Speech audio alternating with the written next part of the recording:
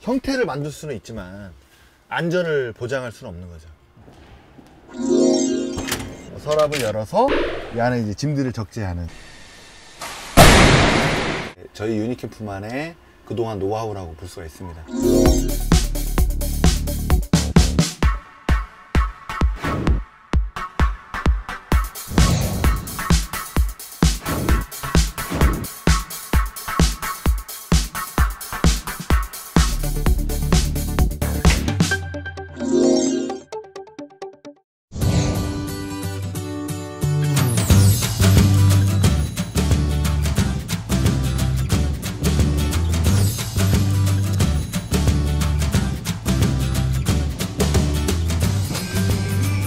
그러니까 이게 저희가 이제 이 제품을 되게 중요하게 여기는 부분이 뭐냐면 이렇게 저희 제품을 따라서 일렬 회전하는 업체들은 되게 많아요.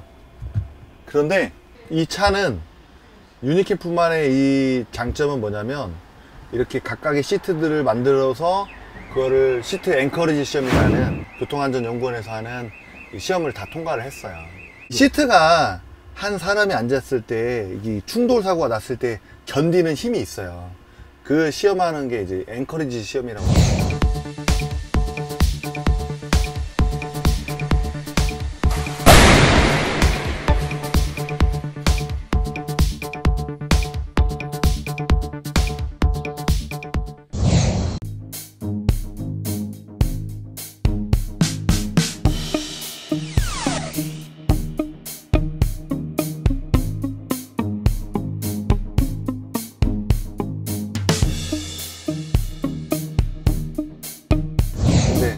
그 시험을 저희는 다 이제 통과를 한 거죠. 이 시트나 뭐 일렬이나 평상시에 주행 중에는 모르지만 강력한 이제 충돌 사고가 발생했을 때는 그게 되게 이제 중요한 문제로 다가서죠. 예.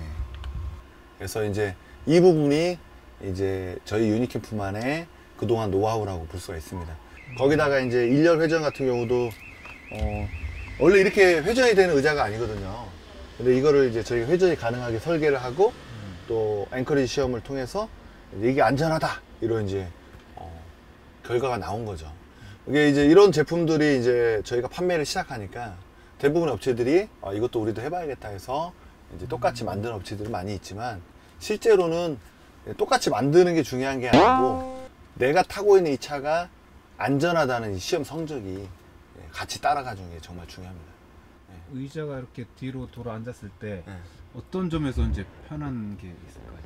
어, 이 중요한 건 뭐냐면 이 차가 공간이 좁은데 어떤 날씨가 춥거나 간단하게 여행을 이제 즐길 때 이럴 때는 차 안에서 서로 이제 소통하는 이런 부분이 있고 그럴 때 이제 어, 여 테이블에다 꽂아가지고 이제 간단하게 서로 마주보고 대화하거나 저쪽은 이제 취침 공간, 이쪽은 소통 공간 뭐 이런 식으로 잡으면 아주 간단하게 이제 이 차에서 뭐 100% 즐길 수가 있는 이제 자동차가 되죠. 예. 뒤에를 한번 보여드릴게요. 예. 이게 이제 모르겠어요. 요즘에 이제 저희 거 카피하는 업체들이 좀 많아서 이제 요즘에 즐기고 있습니다. 옛날에는 막 아, 우리 왜 카피해 버렸는데 요즘에는 이제 아 그래 우리는 빨리 또 다음 넘어갈게 이렇게 이제 하고 있는데